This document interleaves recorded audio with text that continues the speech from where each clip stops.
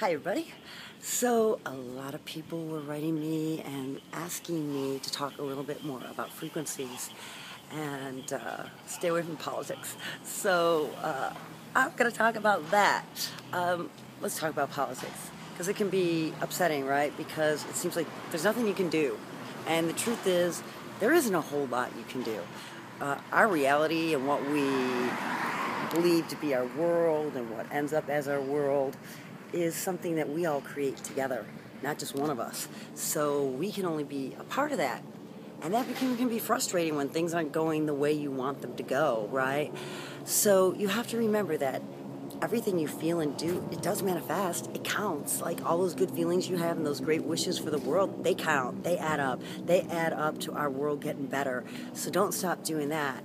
But I did want to say, you know, a lot of times it can tend to get you kind of depressed or defeated or hopeless because things aren't moving how we want them to, not quick enough sometimes, or or at all.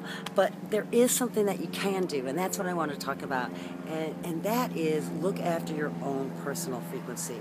Um, when I say that, I mean, all life is full of energy, right? We react to it, we deal with it all the time. If somebody walks in the room and they're this great, bouncing, good energy, it makes you feel better. It also draws you to that person.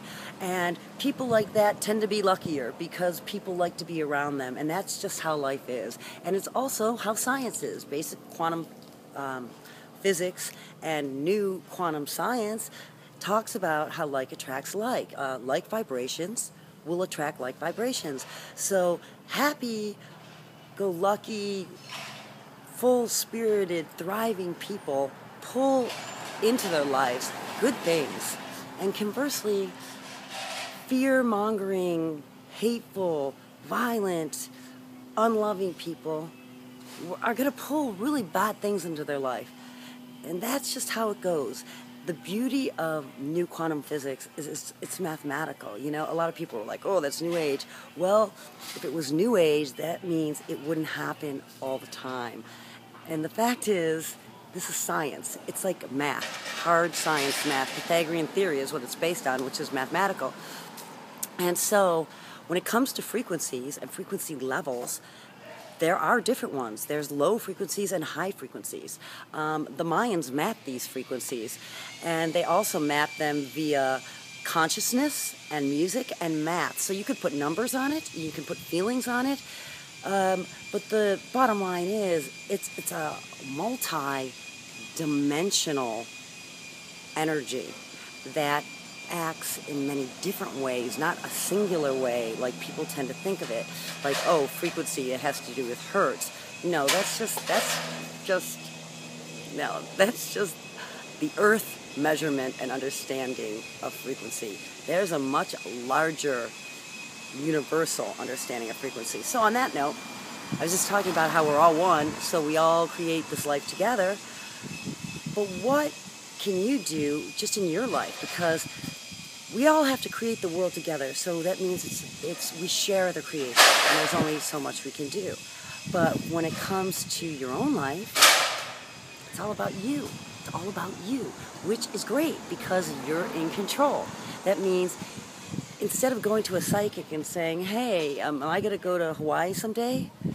You get a second job, you save your money, and you take yourself to Hawaii. Don't ask people what's going to happen in your life. Create your life. You can do that. You have the power to do that.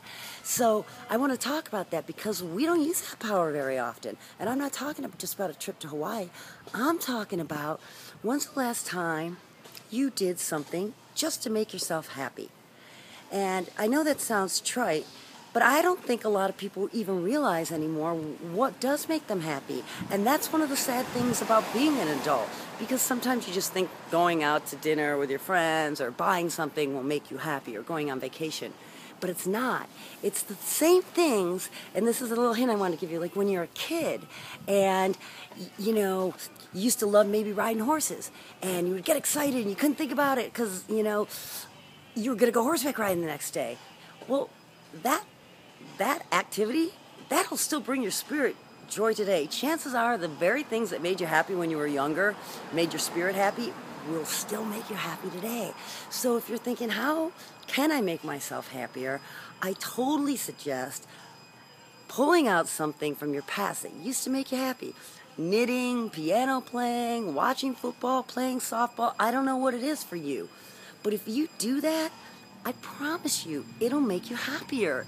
And you know, that's what life's all about, folks. Being happy, being loving, you know, loving each other, taking care. And a lot of us on YouTube do a lot of work trying to help this planet. And I just wanted to make sure that you were making sure you're happy because that's in your control. And that is really satisfying because when you go out and you do something and it makes you feel happy, it spills out all over your life. You have more to give everybody.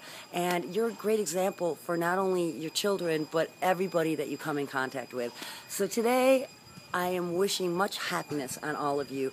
And and get to it. If you're not happy, then go search and uncover the things that make you happy. Don't be satisfied with being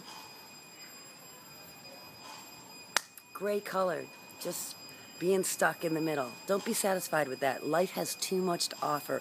Pick a dream and go for it. Pick an activity that made you happy and do it. Anyway, everybody have a wonderful day, and um, I'm wishing all really high frequency.